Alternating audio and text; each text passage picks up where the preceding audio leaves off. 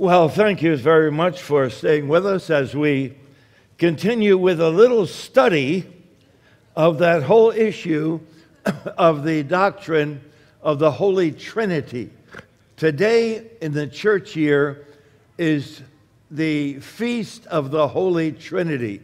Now, when I was in the parish ministry, I really enjoyed this particular Sunday. Uh, for one thing, it indicated that summer's here, uh, but it also summarized everything that we had been through. Now, I don't know if you're familiar with the church year, um, as there are celebrations during the course of a regular year. So we have the church year, which actually begins about the first Sunday in December, and that is with Advent. And we say, Someone is coming. Who's coming? And then we celebrate Christmas, and we say, Well, Jesus came into the world. And then we go to the season of Epiphany, and we ask the question, Who is Jesus? And then we go to the season of Lent and we ask the question, What has he done? Uh, we talk about uh, Holy Week, Monday, Thursday, Good Friday, and then we come to Easter, that he has been raised from the dead 40 days later on a Thursday, which is um, uh, very few churches celebrate Ascension Day on that particular Thursday, and then 10 days later, we go to Pentecost. Now, in teaching this with children, I would give them a, a mnemonic device for remembering, and it's the word ace leap. Advent, Christmas, Epiphany, Lent, Easter, Ascension, Pentecost. Ace leap. Now, after we go through all those festivals, we then have this summary Sunday in which we say, All praise to God, Father, Son, and Holy Spirit. It's a wonderful summary Sunday, giving thanks to God, Father, Son, and Holy Spirit for everything that He has done for us. And then we enter into what is called the non festival half of the church year. It used to be Sundays after Trinity, and now it's Sundays after Pentecost. And um, first Sunday after second, third, fourth, fifth. And how long that season is depends upon uh, the date of Easter. Now, the word Trinity is not found in the Bible. And many of those who object to the uh, word Trinity or triune would tell us, well, that's not found in the Bible, and they are exactly right. You will not find the word Trinity in the Bible, but you will find the three persons in the Godhead alluded to in the Bible. For example, Jesus said, I and the Father are one. Jesus said, Before Abraham was, I am. And if you know anything about Old Testament history, the word I am is another name for God. Yahweh, I am. Uh, he told Philip, Philip, if you've seen me, you have seen the Father. And of course, the Jews crucified Jesus because he claimed to be God. And then Jesus said, I'm going to send you someone else. I'm going to send you another comforter. He was the first. Now I'm going to send you another one who is going to lead you into faith. So, we have clearly specified, uh, it's been clearly specified in the Bible that you have the Father to whom Jesus prayed, you have Jesus who claimed to be God and you have the third person sent in the world to bring us to faith, namely the Holy Spirit. And so now you have these three persons.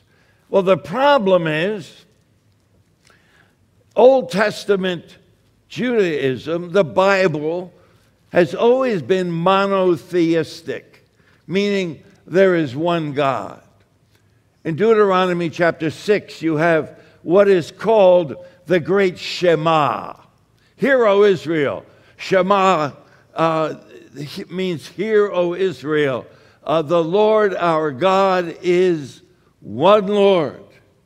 Um, he is one, as opposed to the pluralism, the polytheism of those other nations. So now you have the issue. How can you say that there's the Father and the Son who claim to be God and the Holy Spirit who comes from God? How can you say these three persons are one God? And that remained the mystery. And from that, and I'll get into the history of that, um, from that developed the doctrine of the Trinity.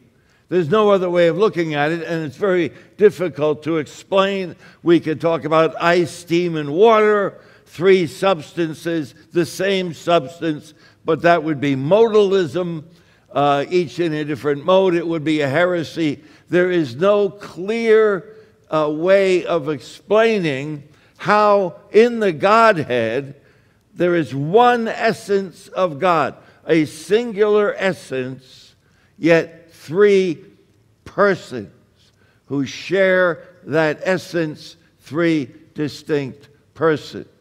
Now, that doctrine of the Trinity is very important. We distinguish groups as being Christian because they acknowledge the doctrine of the Trinity. Uh, there are groups such as the Unitarians, um, the United Pentecostals, who are a Jesus only group, and of course, the Jehovah's Witnesses. Um, when I was in New York, I had a lady knock on our door. She was a Jehovah's Witness. Uh, she said, Jesus is not God. I said the Bible clearly says that in the beginning was a word, and the word was God. She said, if you knew your Greek, you would understand that. I said, wait a minute. I got my Greek New Testament and I showed it to her. She said, I don't want to talk to you. She left. I said, You knocked on my door. I followed her down the street. But anyway, that's very important that there are groups who deny the doctrine of the Trinity. And then we declare that such groups are not a part of the fellowship of the Holy Christian Church. And so the doctrine of the Trinity has become that distinguishing mark of Christianity. That we believe that there's one God, a singular essence, with three persons. Now, let me, if you don't mind history, uh, let me share with you a little bit of how that doctrine came about. Um, for the first nearly 300, I'd say 270 years of Christian history, there was a great deal of confusion regarding the person of Jesus Christ, the relationship of that person to God. And there were various heresies. For example, the Docetists, they believed that Jesus didn't have a real body, he was more of kind of a phantom. Uh, the Sabellians believed in modalism, that the Father, Son, and Holy Spirit were merely uh, different modes of God rather than distinct persons. The Marcionians in the second century said that the Christian God is not the same God as being in the Old Testament. Uh, and then you had the adoptionists who believed that Jesus was adopted into the family of God at his baptism when God said, This is my beloved Son. You had all these groups, you had all of these ideas throughout the Christian world. But at that time, Christianity was persecuted, so there was no way of getting everybody together and saying, let's settle this issue once and for all. The opportunity didn't exist. because the status of the Christian church was dependent upon who was the Roman emperor at the time. One Roman emperor might have permitted Christianity, the next one would come along and persecute them. A very important date in which God intervened, and I say God intervened, I, I truly believe that this is a very important intervention of God. And the year is 312. Um, the Emperor Theodosius had died in 305. He was a severe persecutor of Christians. Constantine was accepted as the next emperor, but there were those who did not accept them, and one of the men in particular was a man by the name of Maxentius. And they met for battle uh, at the Milvian Bridge, which is a bridge over the Tiber River leading into Rome. So, as Constantine is marching, and this whole story comes from the church father Eusebius, who said that Constantine told him this. So, as Constantine was marching during the day, he looked up into the sun and he saw a cross and the letters in Latin, in hoc signo vinces, written underneath it. And that night in a dream, he was told what to do. Now, the Latin words in hoc signo vinces mean in this sign conquer. Um, for whatever it's worth, if you ever find a pack of Pall Mall cigarettes, you'll find an image in the middle, and underneath will be the words in hoc signo vinces. Why, I don't know, but they're there. In this sign, conquer. And of course, it meant the cross. Now, Constantine then had crosses and also the Chi Rho uh, inscribed onto their shields, their standards. And you know what the Chi Rho is the P with the X. Uh, you've all seen that. Uh, X is the Greek letter CH, and the P stands for the Greek letter Rho, which is R, which are the first two letters of the word Christ. Uh, when people send you a Christmas card and they wish you Merry Xmas, they are not crossing out Christ because the symbol of X, the first two letters of the word Christ, has always been used as shorthand. I remember I had a professor in uh, seminary, he used to write Christianity by, say, by writing X I A N I T Y, uh, putting the X, which is a symbol for Christ. And so he went to battle with the cross, with the Chi Rho on the shields, and he won the battle. Came back to Rome victoriously, has now the sole emperor of the Roman Empire, and declared that Christianity was now an accepted religion in Rome. By the way, Constantine's mother, Helena, was a Christian, and in the uh, beginning of the fourth century, she journeyed to the Holy Land and she built a number of basilicas or little churches over the sites. Any, any of you been to Israel? Some of you have. Now, if you've been to the church of the Nativity, when you went into that church through that little opening, there you came upon a section where there was a hole in the floor, and you looked down and you saw the original mosaic from Helena, uh, who put up the original basilica over the site where Jesus was born. And by that time, of course, people knew where Jesus was born.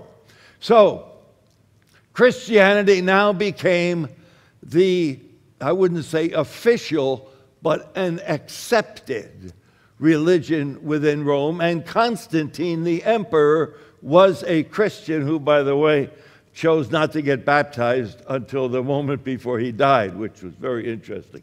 But anyway, now, Constantine looked at the state of the Christian church and said, Look, you guys, you got to get your act together.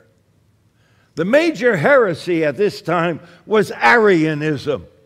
Arius was a prelate from uh, Alexandria, and Arius taught that Jesus was inferior to the Father. Very similar to what the Jehovah's Witnesses teach today. And Arius was shrewd. He um, promulgated his views not just with propositions, but he wrote little ditties, little jingles, little choruses. Jesus is not God. And, and people got to love these little jingles of Arius. And, uh, and the populace sang them. They sang them in barrooms and so forth. And there are some who suggest that the little jingles of Arius became popular also with sailors because Alexandria was a major seaport, so that the heresy spread from port to port. And this was a major problem. Uh, there are some who believe that Jesus was God. Others, following Arius, said, no, he's inferior to God. So Constantine said, look, get this straightened out. And so a conference was called, the first great ecumenical conference uh, in the city of Nicaea, which is in Turkey. And all the leaders of the church came together, these bishops, and they're often described as some of them were missing a leg, uh, some had their eyes gouged out due to the persecution, and they all came to Nicaea to deal with this question. And they studied the Bible.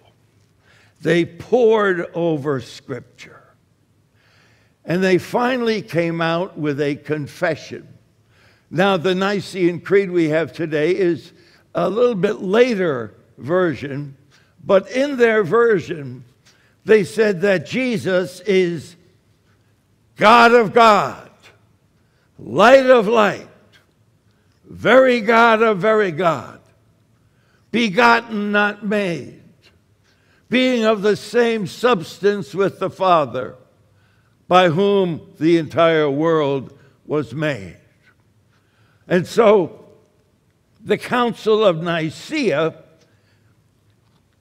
rejected Arianism as a heresy and put into place the triune nature of God. There are three persons in the Godhead, one divine essence, three persons came out of the Council of Nicaea as they poured over the Word of God. Now, one of the other issues that was settled at Nicaea was the date of Easter. This, I find this interesting. Um, the Christians at that time, to begin with, were following the Jewish calendar because they knew that Jesus died at Passover. And so when the Jews celebrated Passover, the Christians celebrated Easter. Well, many Christians said we've got to divorce ourselves from the Jewish calendar. And so they devised this little scheme for dating Easter. It was a first Sunday after the first full moon, after the first day of spring. The first Sunday, after the first full moon, after the first day of spring. I guarantee you, 100% guarantee you, that when you come to church on Good Friday, if it's a clear night, I absolutely 100% guarantee there will be a full moon.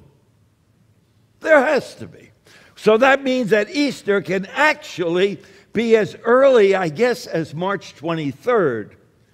Uh, if the 21st is Friday, if the full moon is Saturday, March 23rd could possibly be the very earliest. And I guess the latest, if you figure it out, um, April 20th would be the end of the cycle. And if, and if that falls on a Monday, probably Easter could be as late as April 27th.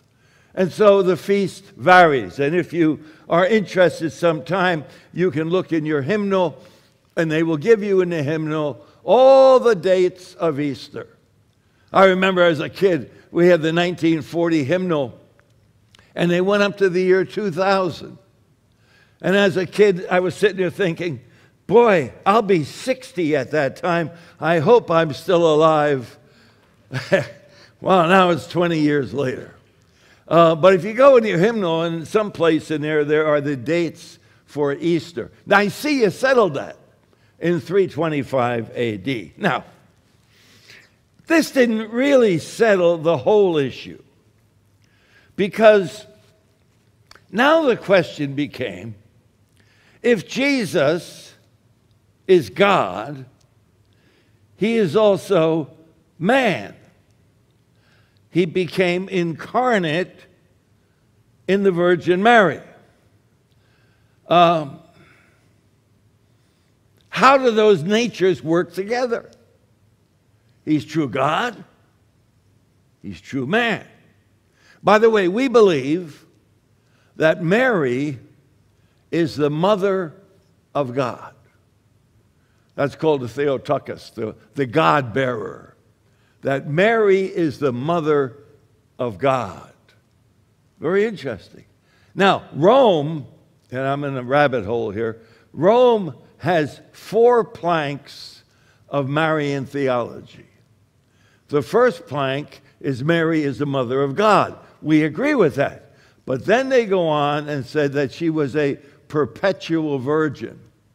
Well, I don't know about that. There are verses in Scripture that talk about the brothers and sisters of Jesus. Um, Luther believed in the perpetual virginity. There are some Lutheran pastors who believe.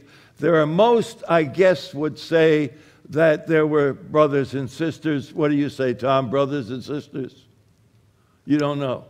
Uh, so the, the issue, uh, I'm talking to Pastor Tom Roma, for those of you who have no idea what I'm doing. Um, the, the issue of the perpetual virginity, a plank accepted by Rome. Then you have the next plank, which is the um, uh, Immaculate Conception.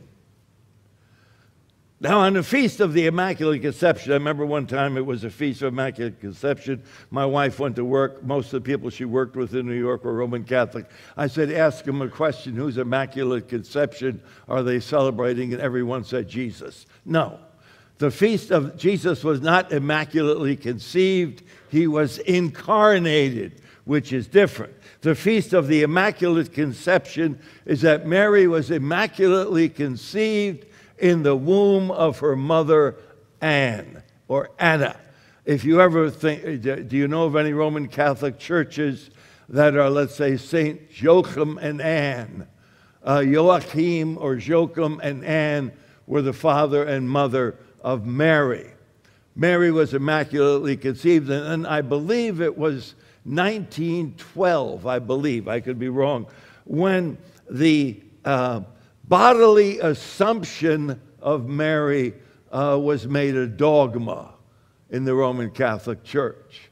Uh, it's interesting that, that much of the idea regarding the bodily assumption that Mary was now up in heaven with the Father, Son, and Holy Spirit, um, much of that, or I should say, some of that, I don't know what percentage, came out of mystical vision. Uh, St. Teresa of Avila saw this mystical vision of Mary being the Queen of Heaven.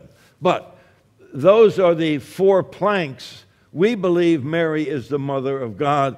We reject the other three, uh, primarily the last two, because there's absolutely no biblical warrant for that. So the question becomes how do these two natures interact? Jesus is not 50% God and 50% man. He's 100% God and 100% man. Uh, the personal union, the God man, the Son of God, these two natures exist within the person of Jesus Christ. Now, how do those natures interact? Very important question. I'm sure that there are folks who might think that, well, when Jesus slept, when Jesus wept, um, when Jesus ate, when Jesus died, he did so according to his human nature. When Jesus healed the sick, when he walked on water, when he stilled the storm, when he cast out demons, when he was raised from the dead, he did it according to his divine nature. Well, no, because that creates a problem. Um, set up a scale of justice for a second in your mind. You know what I mean? The two, the two pans with the bar, and put into this side all of the sins that have ever been committed from day one until the end of the age. Put them in the one pan, and thunk, that pan goes down. Now, put in the other pan the suffering and death of Jesus. Um, without even going into the idea of bearing the sins of the world, I do believe that there have been other individuals throughout history who have experienced greater torture, greater suffering than perhaps Jesus did on the cross. So, could you put the, oh, six hours of suffering of Jesus, uh, maybe include Maundy, Thursday, according to his human nature alone, in this pan and have it balance the other? Our brothers, brothers and sisters in the Reformed Church say Jesus died according to his human nature only. I would say, well, that would cause me a problem. Because I really don't know if the shed blood of Jesus, according to his human nature alone, is sufficient to balance the scales so that the justice of God is met and the world of sinners is forgiven. You know what I mean? Is that enough? The only way it could be enough is if you put God in this pan. If the shed blood on the cross was the divine blood of the Son of God, zoom, it's more than enough to balance the scales for our forgiveness. So, anytime you're in doubt regarding your forgiveness, you can claim that my forgiveness is based upon the shed divine blood of the Son of God. You see, you cannot say, or else I, I don't believe you can say, and comfort people by saying Jesus only died according to his human nature. Because then they would have to ask the question is that sufficient to balance the scales? Once you put God into the pan, the precious shed blood of the one person, God and man, Jesus Christ, into the pan, wow how do I know my sins are fully forgiven? Because God did it. God did it. Now, this idea was a part of the church in the second century church father Tertullian spoke of the fact that God was truly crucified and truly died. The issue wasn't settled until the next two ecumenical councils met at Ephesus in 431 and Chalcedon in 451. And out of those two councils came an understanding that we speak of as the communication of attributes. I'm sorry, that's what it's called. The sharing of attributes, meaning that the attributes of the divine nature are communicated to, shared with the human nature. So that when Jesus wept, God wept. When Jesus was sorrowful over Jerusalem, that was the heart of God. When Jesus picked up little children and held them to himself, that is what God believes and acts regarding little children. So, what Jesus did, he didn't do only according to his human nature, because the attributes of the divine nature are a part of the human. You can't cut him in half and say, now he's human, now he's God. He had to do everything according to both natures. Well, you say, how can God die? God can do whatever God chooses to do. And if God in Christ Jesus chose to participate in the suffering and death of his son, I'm sure glad he did.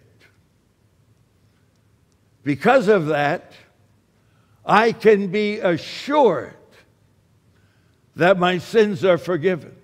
I can be assured of the truth of the gospel. I can be assured that I'm righteous before God. Why am I assured? Because God did it. God did it. That's why the doctrine of the Trinity, particularly the person of Jesus Christ, and the relationship between his divine and human nature. Well, I know they're all theological issues, but I believe that whatever I learned at the seminary, I should be able to teach Grandma Schmidt, whoever that is. Because if I can't communicate that to you, why in the world did I learn it? And that whole issue of the interrelationship of the person the divine and the human in the person of Jesus Christ is something you need to understand so that when Good Friday comes along, you are declaring that that death on the cross involved the participation of God for the sins of the world. And then you can be assured that your sins are definitely forgiven. Martin Luther said the greatest blasphemy is to deny your sins are forgiven. Why? Because God did it. God presents and offers this gift of this great forgiveness to us.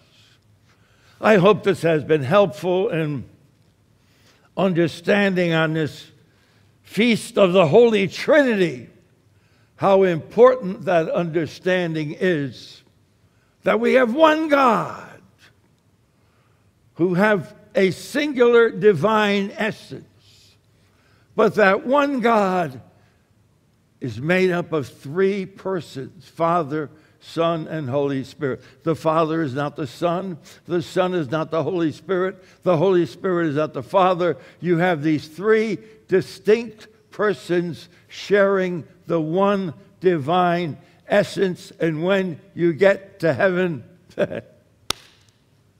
you'll see it with your own eyes. God bless you. Have a happy Trinity Sunday. Thank you so much for staying with us and tuning in.